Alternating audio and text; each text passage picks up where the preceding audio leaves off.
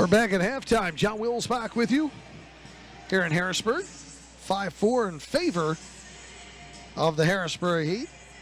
Here at halftime, they're having the alumni game. And a lot of Harrisburg Heat alumni from that first group from 1991 to 2003. And then, of course, these last several seasons of the Harrisburg Heat.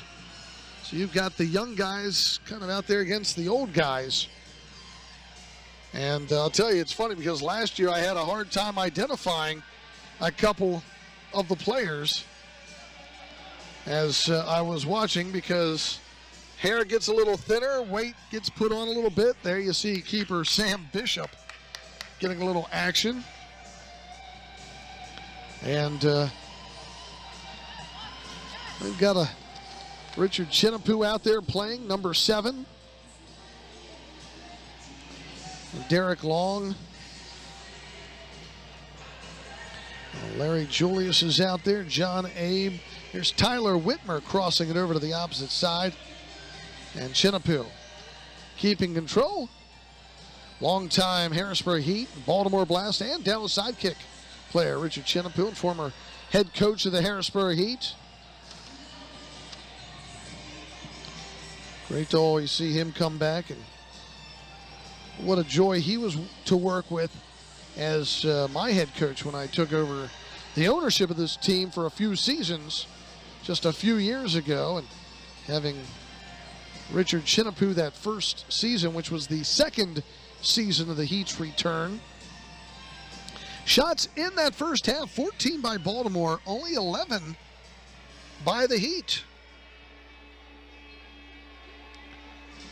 Out of town scoreboard, last we had a 3 1 lead. St. Louis leading, rather, Florida leading St. Louis 3 to 1.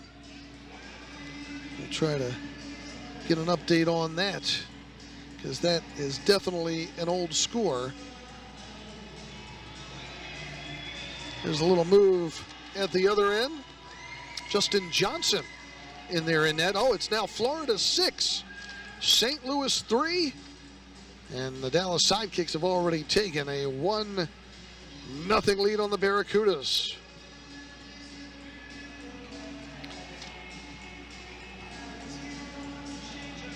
Five four is our score here. Just saw Larry. Oh, that was Larry Julius out there. I think it was. Got Derek Long. John Abe. Played for many years there in the Baltimore Bays, too. Tyler Witmer, who could probably still play right now, number eight there in the blue jersey. And Tyler's just solid. What a great attempt there. And putting on a little fun exhibition with Justin Johnson.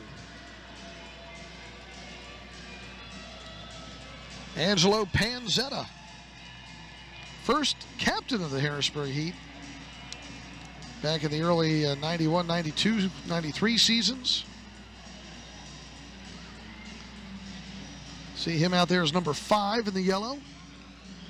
He was a good defender for the Heat back then. Just steady, hardworking player, hailing out of that uh, Buffalo or Rochester area. I think it was the Buffalo area. Mark Pulisic's out there as well for the Harrisburg Heat, wearing his number eight jersey. See some of the Heat guys on the bench. See Mike Henning there. He's not playing. Gino DiFlorio wearing the 12, talking with Lester Felician. Larry Julius is there with the uh, black hat on next to Jim Pollihan in the black shirt. Those guys not playing. They're serving as honorary Good evening, everyone, and welcome for the Heat. Shot wide, another shot wide. Not sure who that was. That was um, BG or Regis out there. It is amazing how these guys change their looks. And Justin Johnson in net. John Abe has it, ring at 13. Of course, these guys aren't going for full tilt. Bill Becher over on that far side. They know that they'll hurt themselves if they go full tilt. Mark Pulisic, one of the all-time greats in Harrisburg Heat history. Sending it to the far post and a save by Sam Bishop there.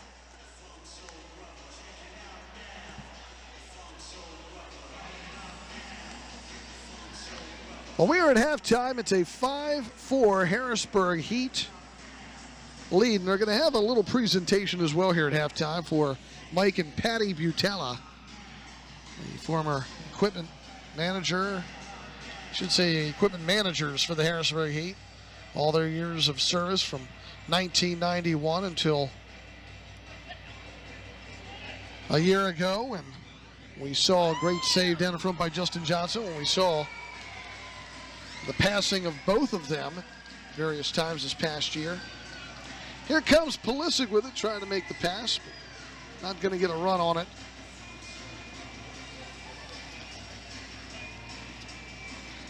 Fans remember, Mitre is the official ball, the match ball for the Harrisburg Heat and the MASL. MASL and Mitre share a long-term vision to see arena soccer grow in North America.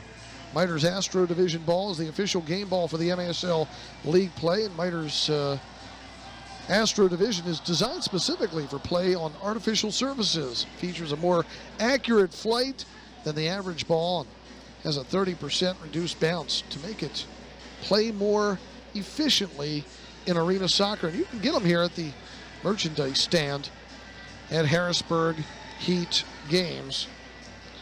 So thank you so much for Mitre for being a great partner with the MASL. Well, the Harrisburg Heat won't be home for a little while. As the Heat's next game is going to be on Saturday, February 23rd. And there she is, Christie Rampone, coming into town. Women's U.S. national team. There will be meet and greet, soccer clinics, photo and autograph sessions, Q&A. So many packages available for kids, teams, clubs, all you women's teams and girls teams out there need to get on this one. Who better to represent U.S. women's national team? And Christie Rampone. More information, go to harrisburgheat.com. And the Heat will play the Milwaukee Wave on Saturday, February 23rd. They've had some battles, some great battles over the years with Milwaukee, especially back in the 90s. And uh, looking forward to seeing them coming to town. That's going to do it for the alumni game. These guys are going to go back. They're going to get their oxygen now and uh, some vitamins and try to cool off and probably go right to the trainer's room and stretch out all the muscles they just pulled playing for the first time in who knows how long. But great seeing a lot of these guys out there, and especially Richard Chinapoo. He'll tell you, he's uh, Chinapoo still got it. He stays in shape and uh, loves competing. The Trinidadian. I'll give one more picture here of all the alumni that came back.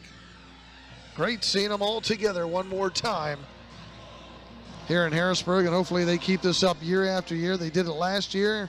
This year they got even more guys to come out and play in this game. It's always great seeing them. If you're uh, a Harrisburg Heat alumnus and you're watching, make sure you get a hold of the Heat for next year and get involved. I think John Abe does a lot. He's right there in front of the, uh, right behind the ball at organizing this event. Danny Kelly and David Bascom, former Heat players and coaches hopping in. Larry Julius here next to Danny Kelly and Jim Pollihan, Panzet on the back line. All these guys hopping in. Hopefully I didn't miss mentioning any of them, but great seeing them out there and playing and having them come back. The history of the Harrisburg Heat so great since 1991 when it was founded and brought in here by Dr. Rex Herbert.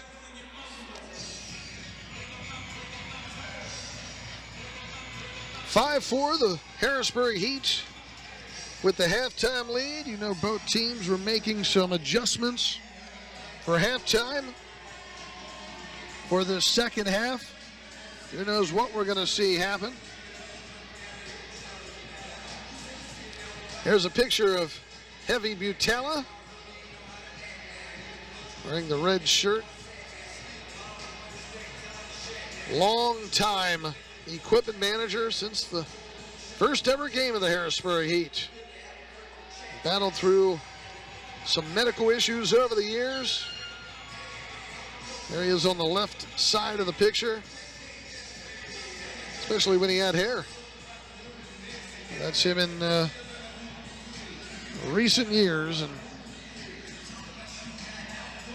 he passed away. And then uh, shortly thereafter, Patty, his wife, who was also always by his side, helping out in the locker room, helping out with field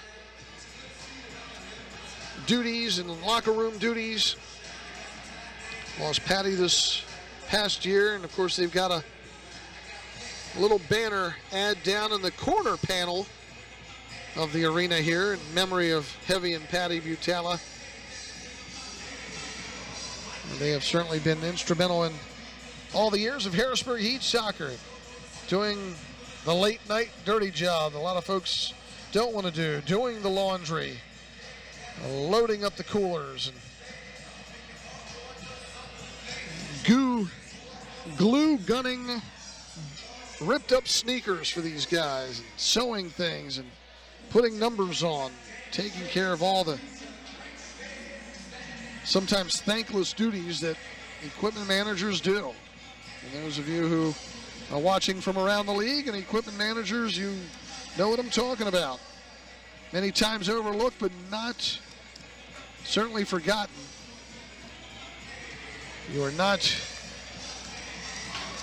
forgotten, and you are certainly appreciated for all you do for the teams of the MASL, and Heavy and Patty will certainly be remembered here in Harrisburg. Spent many uh, bus rides and plane rides with Heavy over the years. He and I and head coach Jim Pollihan had many a dinners together. Many times during the season, we'd see each other more than we saw our wives.